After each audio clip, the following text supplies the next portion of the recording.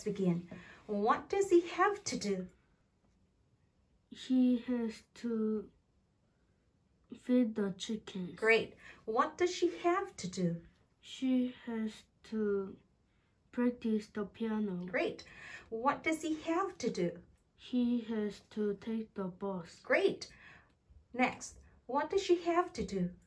She has to return the books in the library. Great. Next, what does he have to do? Uh, he have, has to return the toys. Perfect. Next, what do they have to do? They have to paint the pants. Perfect. Next, what does she have to do?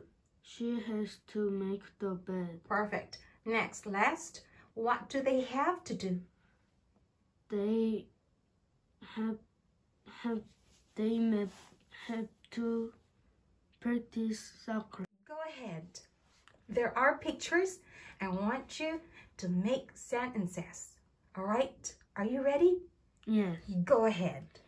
He has to feed the chickens. She has to uh, practice the piano. He has to take the bus.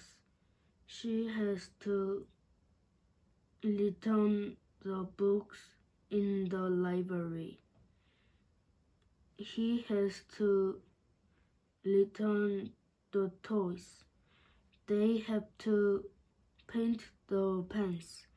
She has to make the bed. They have to they have to practice soccer. Perfect, Justin. Great job. Yeah. You have connected here the lines. Yeah? Yeah. Okay, next. All Down there. Okay, Mm. write sentences. All right? Yeah. Okay. Answer me, please. All right. What do you always do in the morning? I always get dressed in the morning. Great. Number two. What do you usually do after school? I sometimes practice catch. Uh, I usually practice baseball after school. Great. Number three. What do you sometimes do with your friend? I sometimes practice catchball with my friend. Great. Number four. What do you do every day? I always study every day. Great. Next.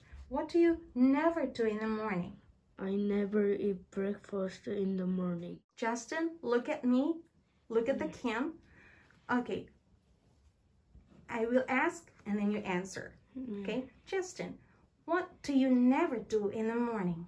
I never eat breakfast in the morning. What do you usually do after school? Uh, I usually play baseball after school. Perfect. Number one. Where's Tim? He's in the bedroom. Very good. Where's Rosa? She's in the yard. Great. Number three. Where's the newspaper? Is in the kitchen. Great. Number four. Where's Peggy?